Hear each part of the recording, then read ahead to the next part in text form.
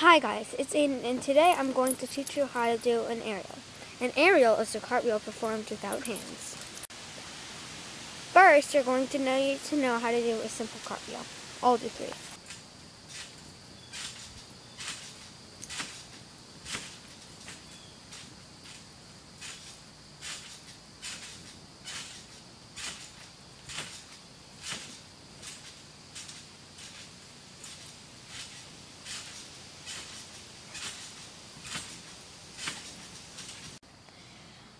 Next, you're going to need to know how to do a one-handed cartwheel.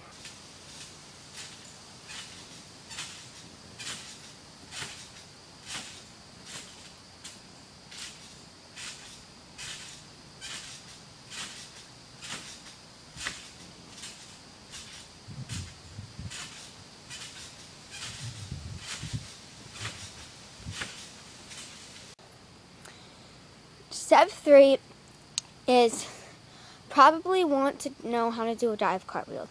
A dive cartwheel is, so instead of jumping upwards into your cartwheel, down like you're diving.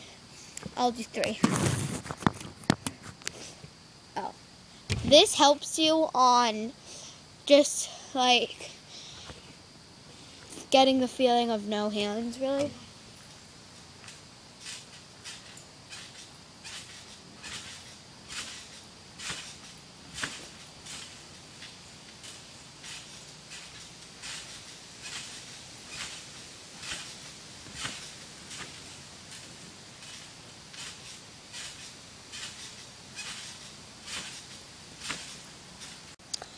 You're going to also want to know how to do a pop cartwheel. A pop cartwheel is when your hands leave the ground earlier.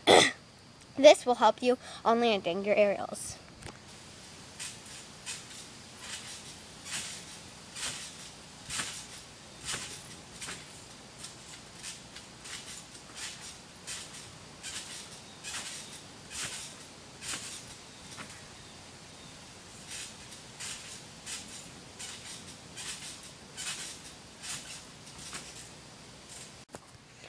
Now you're almost ready for your aerial. You just need to work on your back kick.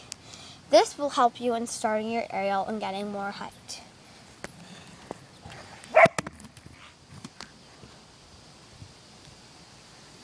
Oh, and it depends on, it depends on, like, if your right leg, left leg, whatever that stuff.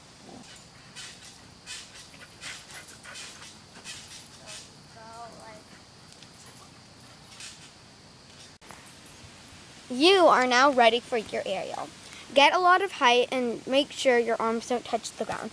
In order to do that, go like, don't go like that, and then go like that, that, anything of your head, I don't know.